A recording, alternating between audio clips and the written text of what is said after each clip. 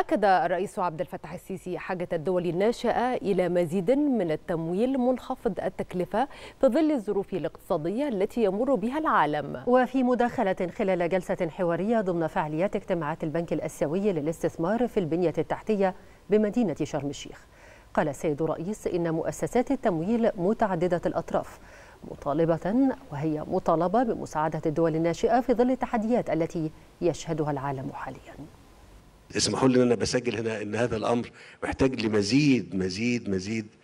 من التمويل منخفض التكلفة خاصة في ظل الظروف الاقتصادية اللي مرت على العالم خلال كوفيد 19 سنتين وأيضا الأزمة أو تداعيات الأزمة الروسية الأوكرانية. يعني عايز أقول إن في الظروف الاقتصادية الصعبة ديت اللي بتمر بالعالم كله يمكن تكون مؤسسات التمويل متعددة الأطراف يعني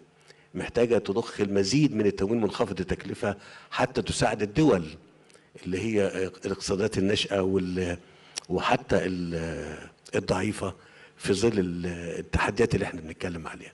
بالنسبة طبعا لتعاون البنك مع مصر أنا بسجل برضو تقديري ليه هنا إحنا بنتكلم في محفظة استثمارية تصل لل 1.3 من 10 مليار دولار